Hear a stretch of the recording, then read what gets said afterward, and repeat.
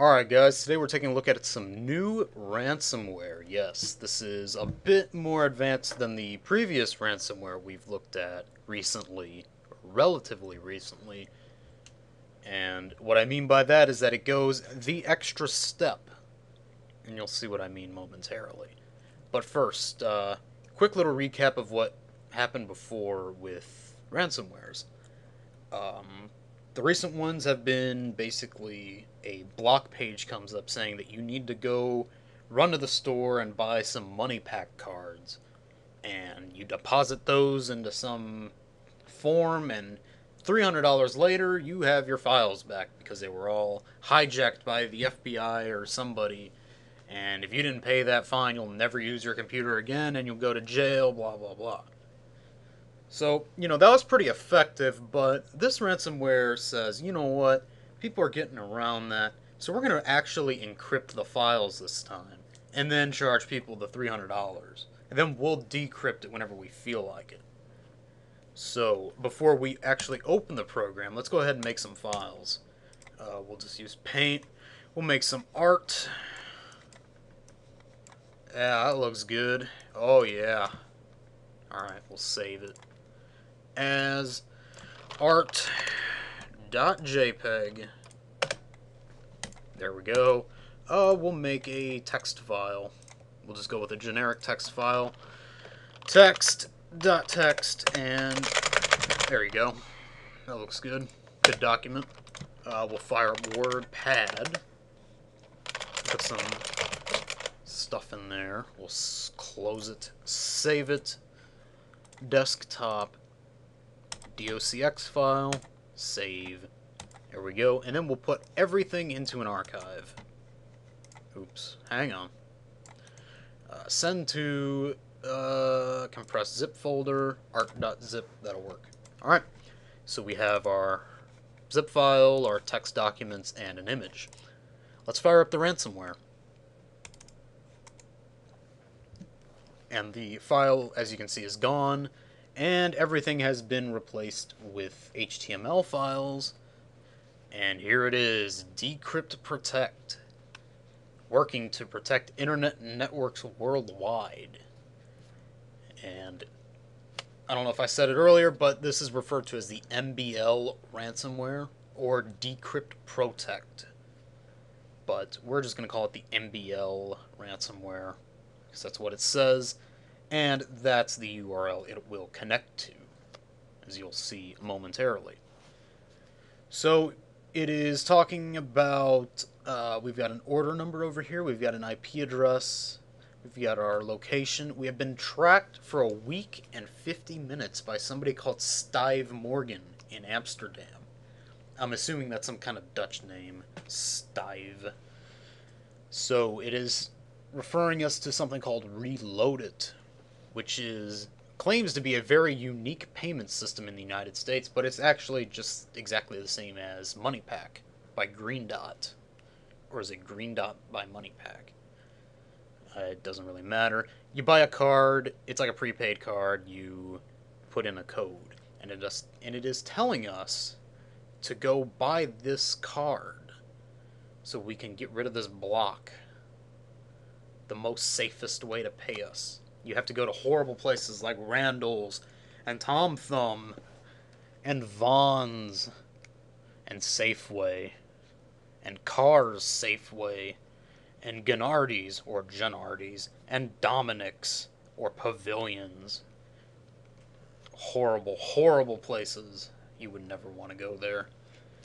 So it says we have 48 hours left to enter my payment, but as you can clearly see, I have 79 hours 42 minutes. I'm not sure what the point of that is, but you know, whatever works. And you know, at this level, it's basically the same as the other ransomware. Pay $300, get your files back.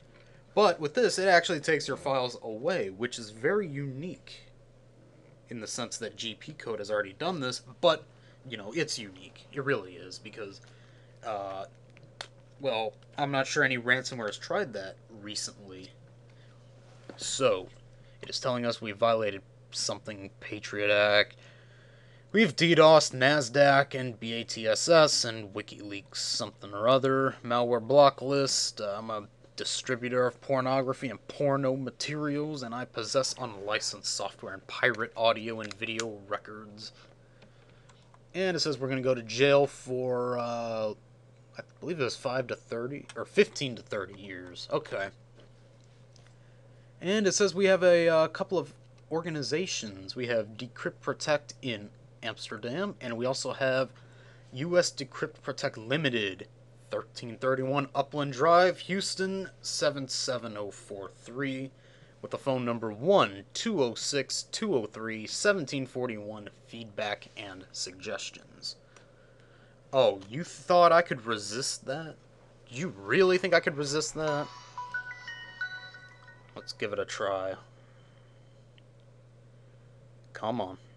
I only have 10 minutes on this phone, so uh, not going to be able to have a very long call if we can connect at all. So, let's see, 206, 203, 1741. Let's try it.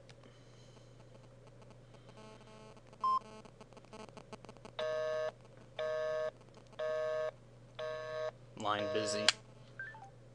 So, that happened earlier when I tried to connect, and I'm not sure if the line is just dead completely or if they're really taking calls or something's happening, but not able to have a good call with this thing, so perhaps next time I'll do that. It also has some interesting stuff here over on the left. Note, if we won't receive a full payment, you will never be able to decrypt your files. Okay. If you think our actions are illegal, you can dispute through a written notification addressed to your assigned agent. All your files will be available to you if you pay the fine within the next 48 hours, or authorities going to have to seize your computer. Like, okay. We guarantee that all your files will be restored safely once we receive your payment, and we do not negotiate with malware and spam distributors all threats and intimidation will be challenged in court. Oh, really? I really wish I could try that. But we can't. And we also have something called video tutorials, which tries to open some kind of page, but the player is gone.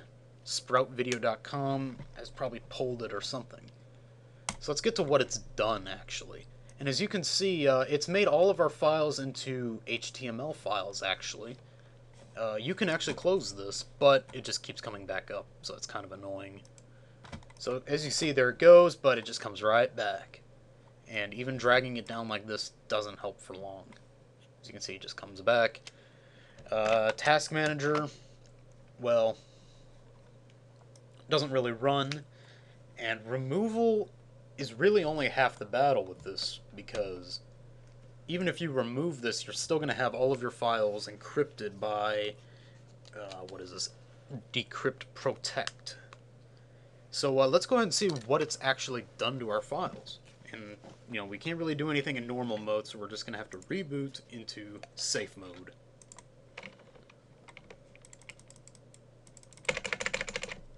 We'll do uh, safe mode with networking. It works fine.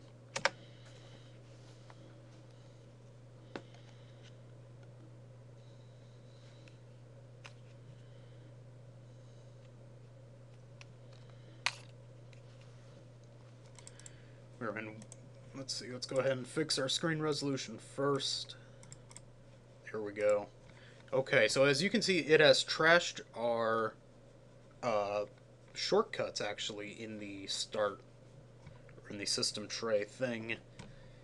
And let's see, let's look at our text file. That'll be the easiest. So we'll just go ahead and open it with Notepad, because it is a text file. And as you can see, it has been changed to an HTML file, linking to mblpcblock.in. And here's our encrypted data right here. And somehow you get uh, whatever gibberish I put in. Maybe it was just text, I don't remember. But that is our text. Not really usable at this point, unfortunately. And as far as I know, there is no way to actually decrypt these. And of course, I'm not speaking in the future, I'm speaking in the past, because it is the 17th day of the fifth month of 2013. And as far as I know, like I said, no uh, publicly documented way to decrypt these files. I'm assuming, though, that it's not going to take very long for somebody to uh, figure out the decryption method and upload a program or something. So I will make a follow-up video on that once that occurs, and I'll make a I'll have the removal process in that video as well. Uh, removal right now is a little pointless because you know you still have the encrypted files, and that's a major problem. But yes, like I said, I will make a follow-up video on this when a new uh, new way to decrypt these files comes out. So, thank you very much for watching, and stay tuned.